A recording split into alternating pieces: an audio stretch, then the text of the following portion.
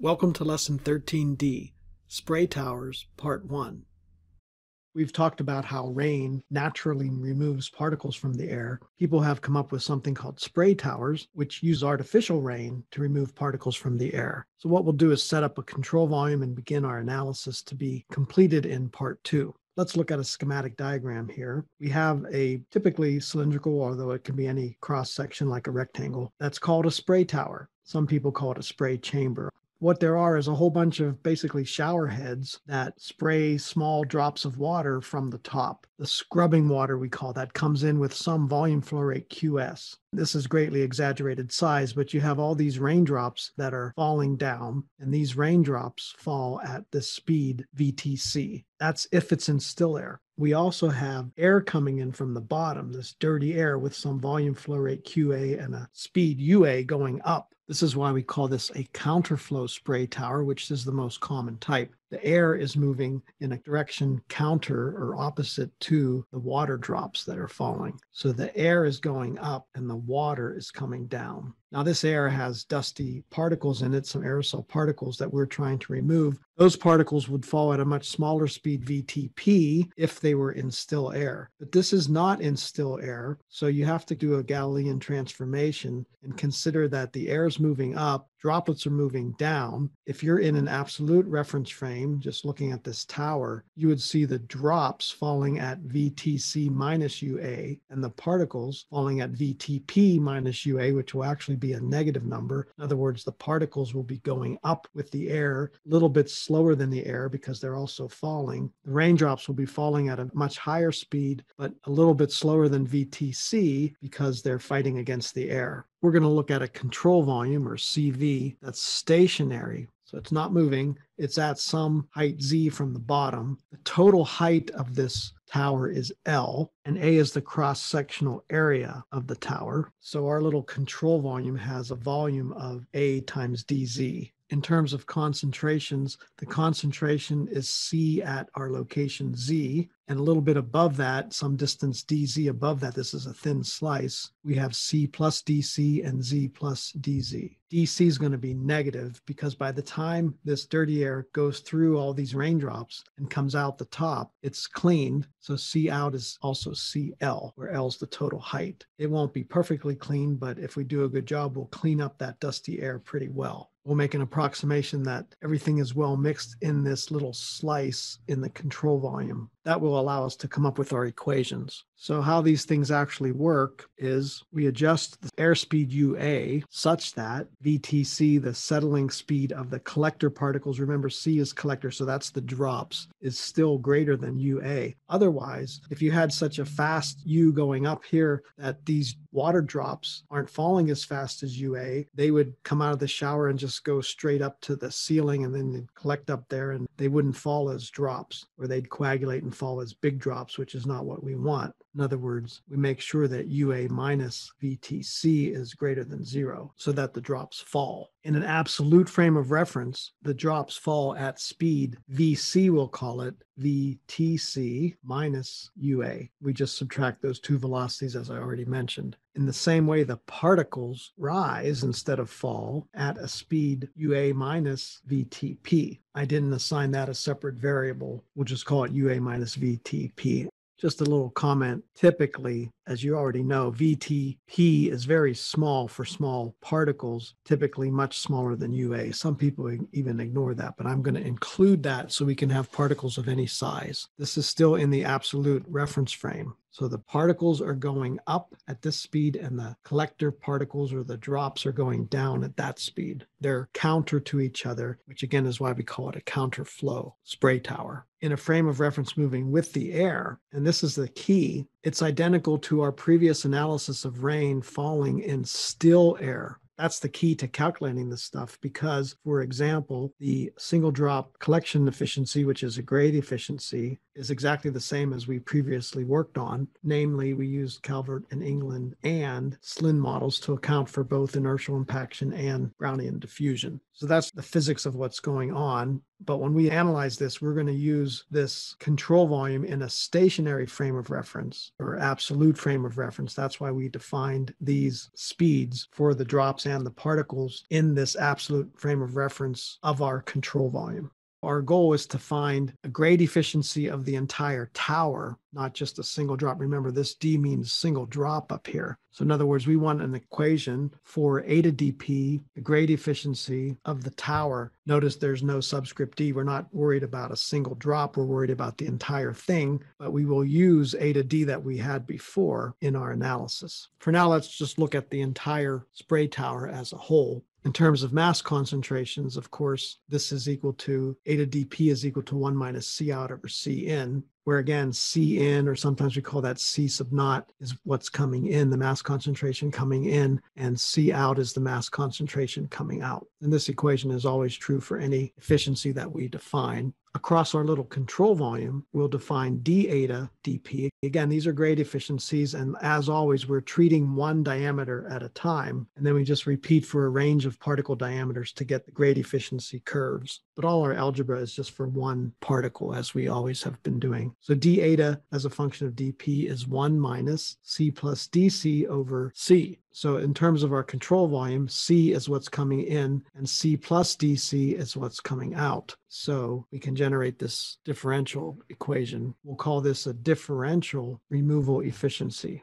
do a little bit of algebra, multiply by c, and you see that those c's cancel out. We can solve for dc over c. It'll be negative d eta, and these are all as a function of dp. I'm going to call this equation 1. Now we have to calculate this d eta dp. Let's blow up our control volume. It's a rectangle of height dz and cross-sectional area a. That's not just the distance, that's an area. It's this length that you see times the dimension into the page. Or if it's round, it's just a circle of the big round tower area. Well, we have these drops in here. Some of the drops, some of the raindrops happen to be in the control volume, and these raindrops are falling at absolute speed VC. Remember, this control volume is fixed, it's not moving. So we're using the absolute frame of reference for all these speeds. The cross sectional area directly underneath this raindrop will just be a circle. We're going to call that AC, again, where C is the collector. These are the collector drops that are falling. But some of these drops are falling into the control volume. Others might have already passed. They're all falling at VC. Some might be halfway through the control volume on their way out. Others might be coming in. And there's a few that are actually inside here. But they're all falling at the same speed. And we assume they're randomly distributed here. We'll assume also that the air is filled with randomly distributed monodisperse we're treating one particle diameter at a time, air pollution particles, some of which get collected by these drops and some of which do not. Why do we care about AC? Well, that's because our single drop collection efficiency, remember, is based on AC. We're looking at the particles directly under a drop and how many of them get collected. Also into this control volume is the airspeed UA, and each of these little air pollution particles is falling at some speed VTP. So, what's a little tricky about this is that only the air under one of these particles that happens to be in the control volume at the time we're doing this gets collected. So, we see we have that area there, this one here, and this one here. This one is sort of halfway there, and this one's already gone. This one's coming in, so that one will count. But we don't count this one yet at the top here because it hasn't entered yet. So, we can come up with an expression for this term d eta as a function of dp, and that is is d eta dp is a function of eta d dp, the single drop collection efficiency, times AC over A. Remember, AC is this projected area under the drops, times, here's where it gets a little bit tricky. I'll call this the number of drops that encounter particles. Only this portion of the area actually collects particles. This area ratio represents the fraction of the total cross-sectional area A where drops are actually able to encounter particles because they're inside this control volume with particles underneath them. So that's the area ratio that we use. Since this is a efficiency for one drop, we have to multiply it by the number of drops to get the overall. So the left is the overall efficiency, the eta D is the single drop collection efficiency. I'm going to call this equation two. We're making progress, but now we have to calculate this, the number of drops that encounter particles. So I like to say, put on your seatbelts. This is going to get a little bit tricky, but it's kind of fun. So consider some time dt, which will equal dz over ua, which we define as the time required for air to move through the control volume. And you could see that from this control volume, the air is moving at UA and it's moving a distance DZ. So it takes time DZ over UA to get through that control volume. That's how we get this, or DZ equal UA dt. But the drops themselves are falling at this speed VC in an absolute reference frame. So in that time, that time dt, they fall a distance that's VC times dt. So if this is our control volume with a height dz, our little slice, and as we said, dz is ua dt, in time dt, one of these drops will fall this distance at speed vc. So that distance, that height is vc dt, which is bigger than ua dt. Well, dz is ua dt, so this height is vc dz over ua. So the total volume of air and the collector drops passing through our control volume that potentially collect particles is the sum of these because of the cross flow nature. You have UA going up and then you have this larger VC coming down. They're going against each other think of it as the total time that air is exposed to particles as dt the total volume where we have potential collection by the particles is thus the sum of these two speeds vc plus ua times dt times cross sectional area a you have to think about this a little bit to convince yourself that that's true I can't think no more. My brain's overloaded. Your brain's always overloaded. That's because I'm the brains in this family. No, you're not. Yes, I am. Yeah. Well, yeah. so much for brotherly love. The drops are falling in the opposite direction of the air. We're talking about the total volume. So the number of drops that encounter particles is equal to this volume times C number, comma C. This is the number concentration of collector drops. Well, once again, we know that dt is equal to dz over ua. So we'll plug that in here. The number of drops that encounter particles is vc plus ua quantity times dz times a over ua times c number c. Remember that this number concentration is the number of drops per volume, usually expressed as millions of particles or drops per volume, since there's so many of them.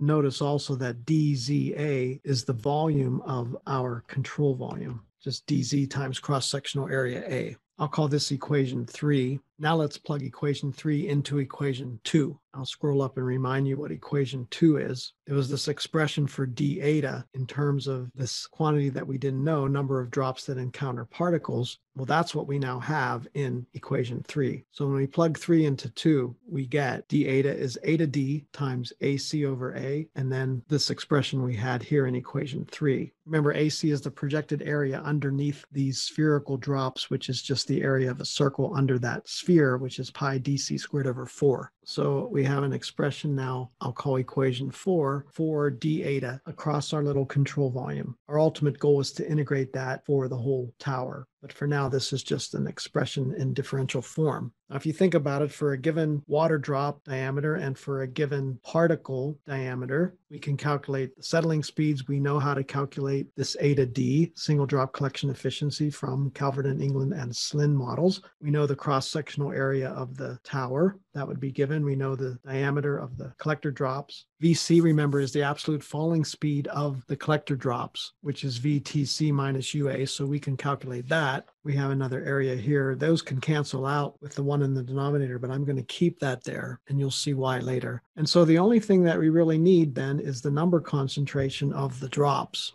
So how do we get C number C? Well, you're going to have to come up with an equation for QS. That's the volume flow rate of the spray water that comes into the spray tower at the top. It's going to be a function of the speed of these falling artificial raindrops. V with a line through it, that's a volume C of the collector drops, C number C, and cross sectional area A. And I'll label all these things. VC is the absolute speed of the falling drops. VC with the bar through it is the drop volume. C number C is the number concentration of the drops. And A is the cross sectional area of the spray tower. I'm going to leave it to you to come up with an equation for QS as a function of these four variables based on dimensions and physics and common sense. It's not hard, but you can come up with an equation. And the key is that these drops are falling into the control volume. And at any slice through the spray tower, the total volume flow rate of all these drops falling added together across just a slice through that spray tower have to equal QS. QS is a constant. If I go back to the original diagram, what I'm saying is that at any cross sectional area through this spray tower, the total volume flow rate of the water drops has to equal QS because the water's introduced up here. And as these are falling now, it's not just a stream of water like in fluid mechanics where it's just a continuous water volume. This is going to be made up of little drops. But at any time and at any Z location, total volume flow of all these drops falling has to equal QS. So think about it and come up with this equation, and then you'll be able to do the quiz for this particular lesson. Thank you for watching this video. Please subscribe to my YouTube channel for more videos.